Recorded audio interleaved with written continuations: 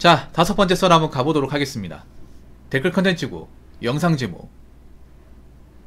남자의 미연보다 여자의 미연이 치명적인 이유. 라는 영상에 달린 댓글입니다.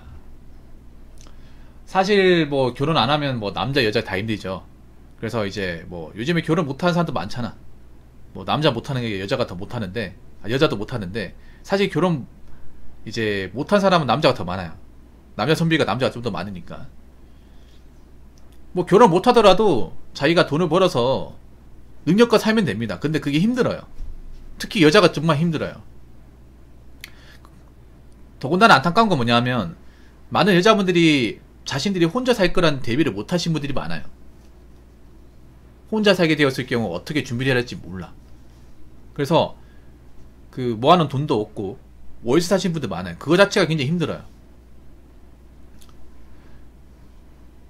혼자 살 거면 일단 중요한 게 내 보금자리 있어야 돼. 허름한 집이라도 있어야 돼요. 그리고 꾸준하게 나이 먹어서도 일할 수 있는 뭐 기술이나 일자리가 있어야 됩니다. 근데 여자분들은 그 어느 것 하나도 제대로 해놓은 분들이 많지가 않아요. 뭐 집도 월세고 거기다가 일자리도 뭐 계속 나이 먹어서가 일하기가 힘들고 특히 여자 나이 한 40 넘어가면 이게 정말 좀 위기상으로 다가오거든요. 이게. 그때 가선 사실 결혼은 끝났습니다. 끝났기 때문에 뭐 혼자 살든가 아니면 부모님 같이 살든가 해야 되는데 쉽지가 않죠 이게. 특히 제가 전에도 얘기했지만 여자분들이 대도시를 많이 선호해요 젊은 사람들은. 젊을 때는 이게 좋은데 나이 먹어서는 이게 족쇄가 돼. 나이 먹어서는 여자분들 이걸 관가 관가는 경우가 많아요. 그러니까 젊을 때는 인프라도 좋고 뭐 젊은 남자들 사귈 수 있는 곳도 많고 놀 때도 많으니까 이런 좀 수도권이 좋긴 한데 문제는 나이가 먹으면 이게 좋은 게 아니라 부담이 돼요. 왜냐? 젊은 사람들이 많이 사는 곳은 인프라가 좋으니까 집값이 비싸요. 예, 물가가 비싸죠. 뭐 월세도 비싸고 보증금도 높고 그리고 음식값도 비싸요.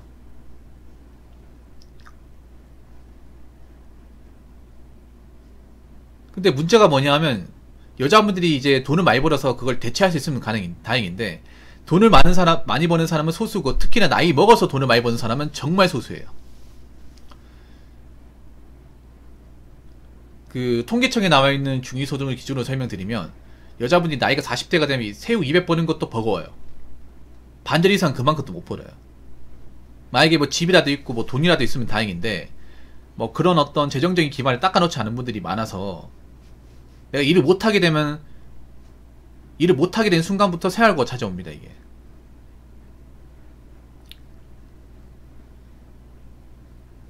그래서 제, 전 항상 얘기해요 여자분들한테. 돈 모으라고. 지금 해외여행 가는 사람 부러워할 필요가 없다. 명품 사는 사람 부러워할 필요가 없다고. 지금 여러분 중고나라 당근마켓 번개장터 가보시면 명품 코너가 나이키 아이다스 신발 코너보다 더 많아요. 매물이 정말 많아. 와 진짜 많이 샀더라 진짜. 여러분 심심할 때 한번 쳐보세요. 나 번개장터 한번 쳐볼까? 여러분 번개장터에 구찌라고 한번 쳐볼게요. 어 구찌라고 치면 어, 매물이 정확하게 77,219개가 나와. 이거 다 여자네. 와 진짜 많이 샀다. 와 보니까 뭐 지가 선글라스 립스틱도 있네. 어. 와, 돈 급한 사람도 많네요. 돈 급하신 분들. 손 보니까 여자네.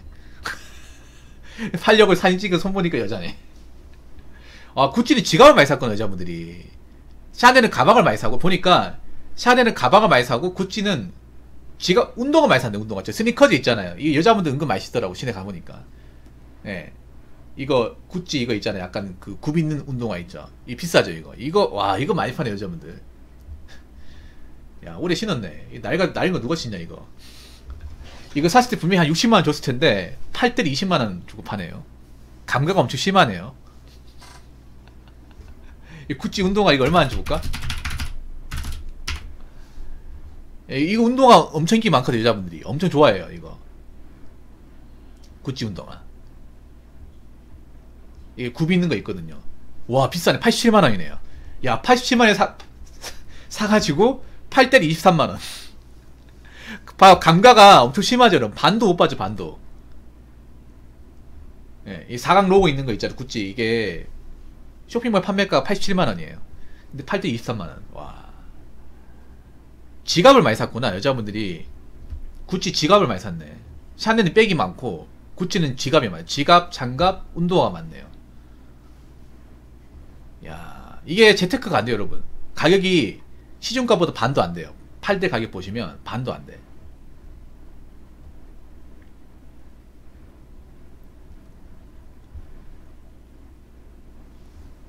야 완전 지갑 매장이네, 지갑 매장. 아무튼 이렇게 보면 제가 봤을 때 그런 거야. 명품 살 때는 좋다고 샀다가 돈 떨어지니까 이제 아차 싶어가지고 매물을 내놓는 사람들이 많아요. 근데 문제가 명품은 여러분 거래가 잘 안 됩니다. 거래가 잘 안 돼요. 여러분이 못 믿겠으면 저기 사이트 가가지고 거래가 얼마나 되는지 보면 매물은 많이 올라오는데 거래가 거의 안 됩니다. 우리가 일반적으로 알고 있는 뭐 나이키, 아이다스 이런 것들 거래가 금방금방 되거든요. 가격 조금만 낮춰버리면 바로 거래가 됩니다. 오히려 신발 같은 거는 매물 찾기가 힘들어요. 예. 네. 좀 싸게 올라오면 바로 거래가 끝나버립니다. 그래서 몇번 경험했었거든요. 근데 명품은 분명히 그 전에 올려놨는데 지금도 올라와 있어. 가격 몇만 원 낮췄는데 근데 아무도 거들떠 안 봐. 그만큼 지금 여자분들 중에 작은 사정이 안 좋은 분들이 많은 거겠죠. 그러니까 그걸 왜 샀겠어, 그걸. 안 샀으면 좀 생활이 보태고 좀 나았을 거 아닙니까? 아무튼 앞으로 남자 여자든 간에 음, 아까님하고 열심히 살았으면 좋겠습니다. 앞으로 경제가 어려워질 텐데 가면 갈수록 이 모은 돈 내가 그동안 얼마나 모았는지 얼마나 열심히 살았는지가 점점 중요해지는 시기가 다가올 겁니다. 없는 사람은요 지금 돈 없고 쪼들리는 사람은 나중에 가면 더 힘들어요. 더 더 힘듭니다. 그러니까 지금 뭐 누구도 누가 비싼 물건 샀다 여행 갔다고 좋아할 때가 아니에요. 아시겠죠? 자 댓글 한번 읽어보도록 하겠습니다. 여자들은 돈벌이 있으면 혼자 사는 게 낫습니다. 똑같이 맞벌이 해봐야 집안이 더하고 시댁 무슨 행사 있으면 일해야 됩니다. 돈벌이 없으면 없는데도 결혼 안 하는 게 낫습니다. 요즘 남편들한테 돈 못 번다고 무시당하고 시댁에 무시당하고 하녀 취급당합니다. 결혼을 목매지 말고 취직해서 노후 준비하세요. 퐁퐁남 이딴 말이라 퍼트린 남자들하고 결혼해봐야 삶이 얼마나 펴질까. 아, 왜 자꾸 이런 댓글 다십니까? 제가 주변대로 그 두 개, 그거를 두 개 좀 패폭했다고 또 이런 댓글 다시는 거예요. 왜 이렇게 피해의식이 많아? 댓글에. 댓글에 왜 그렇게 피해의식이 많습니까? 여자들은 돈벌이 있으면 혼자 사는 게 낫다고요. 근데 실제로 돈벌이 있는 분들이 대부분 결혼하던데요? 돈 버는 사람들이. 여자도 있잖아요. 돈을 많이 벌면 혼자 살아도 돼. 근데 문제는 그런 사람이 많지 않다는 거죠. 많지 않습니다. 한번 생각해봐, 조린가님. 요거 다닐 때 같은 학년에 의대 가는 사람 몇 명 있어요. 여자도 요거 같은 데 나도 기껏해야 한 학년에 한두 명 나올 거 말까 그래. 어. 한두 명 나올 거 말까 하더라고요. 지방 같은 경우에. 뭐 명문고등학교 같은 게 다르겠지만 지방 같은 경우에 남거나 요거나 똑같아요, 여러분. 어? 지금도 수능 결과 같은 거 나오잖아요. 그러면 우리 모교에 뭐 의치 한 약속 가는 사람 몇명 있겠어? 많이 모아야 한 다섯, 네 명, 다섯 명이에요. 네 명, 다섯 명. 어. 그럼 나머지는 그런 거 못 하잖아.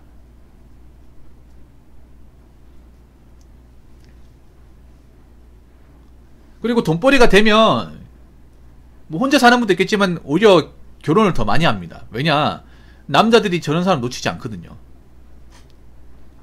남자들이. 그래서 우리가 현실적으로 보면 전체적인 어떤 관점에서 보면 돈벌이가 안 되는 분들이 혼자 사는 분들이 많아요. 절대적으로. 물론 능력이 있는데 홍기를 놓쳐가지고 결혼 못하는 케이스도 있지만 그런 분들은 정말 소수입니다. 똑같이 맞벌이 해봐야 집안이 더하고 치대 무슨 행사에서 일해야 됩니다. 모든 맞벌이 부류가 그렇다고 얘기할 수 있습니까?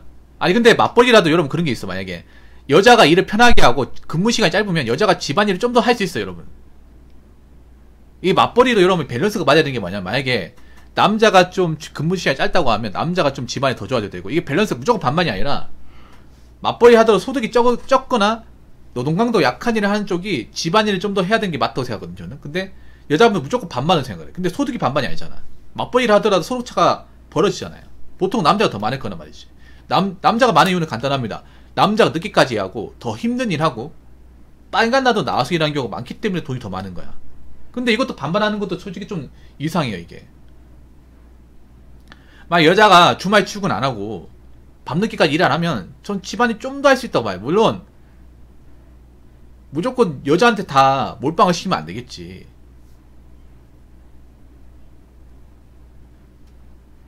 그러니까 돈을 벌더라도 적게 벌거나 일을 적게 하는 쪽이 집안일을 더 하는 게 맞아요. 남자가 돼도 여자가 돼. 만약에 여자가 돈을 많이 벌고 남자 적게 번다. 그럼 남자가 집안일을 좀더 해야 돼.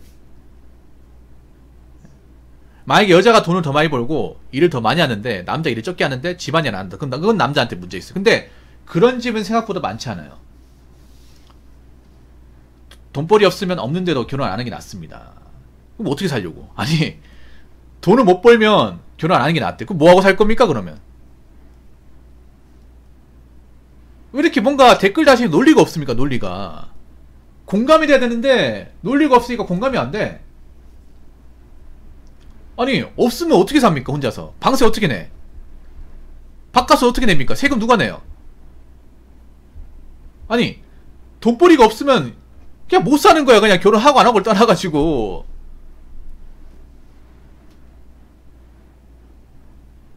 아니 뭐 가만히 있으면 나라에서 도와준답니까? 아 무슨 뭐 논리가 없어 이분은. 요즘 남편들한테 돈못 번다고 무시당하고. 무시는 보통 남, 여자분들이 남편을 더 무시합니다. 내가 왜 이 사람 만나가지고 월급 얼마 안 되는 돈 가지고 이 고생을 할까? 어. 보통 돈못 번다고 무시하는 거는 남편이 여자한테 하는 게 아니라 여자가 남편한테 합니다. 만약 남편이 뭐 번걸 받았는데 얼마 안 돼. 옆집엔 얼마 번다고 하던데 그런 거 여러분 많이 듣잖아요. 지금도 듣고 있잖아 여러분. 옆집 남편이 이번에 뭐 보너스 나가 얼마 받았다고 하던데 어, 옆집에는 이번에 뭐 보너스 나와가지고 회사에서 복지 카드 받아서 그걸로 뭐 여행도 갔다 오고 하던데 그 누가 하더라? 그 누가 말합니까? 남자분들 보통 옆집에 누가 사는지 뭐 하는지 몰라요. 모른다니까? 나 모른다니까 여러분. 나도 몰라 옆집에 누가 사는지. 옆집에 있는데 누가 사는지 몰라. 얼마 버는지 모른다니까? 남자도 모른다니까 일하나 바빠가지고. 근데 여자분들은 어, 옆집에 어 남편이 뭐 하는데 그런 얘기 하잖아요. 밥 먹다가. 뭐 어디 사업하나 봐. 뭐 이번에 뭐 옆집 그 주부님 그 언니 있잖아. 거기 남편이 이번에 뭐 돈 많이 벌었다 해가지고 선물로 뭐 나한테 구찌 자랑하더라고. 그 여자가 그런 얘기하는 건 뭐냐면 사달라는 거거든요. 사달라는 거 아니야. 나도 갖고 싶다는 얘기잖아. 남자 그런 얘기 들으면 기분 좋겠냐고. 나저 밥 먹고 있는데. 보통 비교하는 거는 남편이 여자를 비교하는 게 아니라 꼽을 주는 게 아니라 보통은 여자가 남자한테 합니다.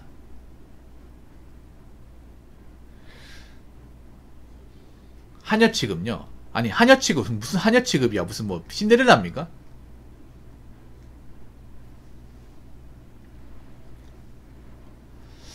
아, 이 댓글 다시 왜 이러지, 이분? 이분 주변도로 내가 영상 가지고 두 개 영상 찍었는데 헛소리 계속 하시네요. 이러시면 곤란합니다. 곤란해요. 어, 이야기를 하실 거면 좀 현실적으로 논리에 맞게 얘기하셔야지.